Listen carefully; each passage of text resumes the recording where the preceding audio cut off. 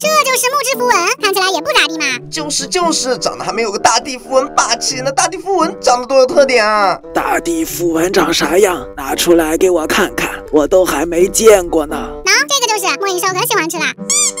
呃，这个癖好还是建议你改一改，要不然容易生病。虽然自给自足确实很棒，但是这种秘制小汉堡还是少吃为妙啊！你在想什么？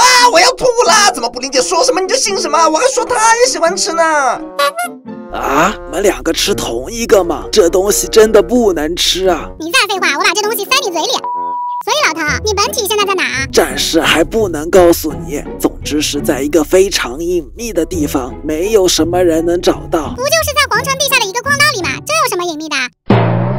啊，你是怎么知道的？不可能啊！我明明把周围的墙壁全部给堵上了，而且你现在的魔力水平，探测魔法应该也找不到我。你还是问问小黑吧，是他带着我一路向下挖的，刚好挖到了你藏身的那个矿道。他说的是真的吗？当然是真的啊！骗你干嘛？我们那会儿是随便找了一个地方往地底下挖的，准备到了地底，然后再去寻找大地符文。不过你这保密措施确实还行，要不是我发现了你放法杖的箱子，我还真不知道你在那里。本来当时想去找你的，但是因为赶时间，所以我们就直接走了。你们这是下毛碰上死耗子。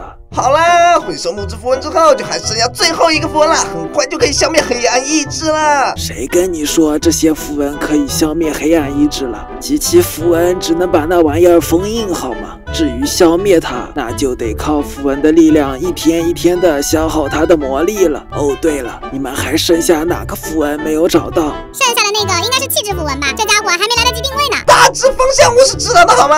算了算了，我帮你们找一找吧。不过用完这点魔力，我这个投影就会消失了。A few minutes later，嗯，在你们背后那个方向走一段距离，会见到一个浮空岛，气质符文就在那里。啊？什么声音？从你胸口发出来的？哦，这是我这个投影魔力快消耗完的提示音。怎么样？是不是很帅？你不要偷人家奥特曼的音效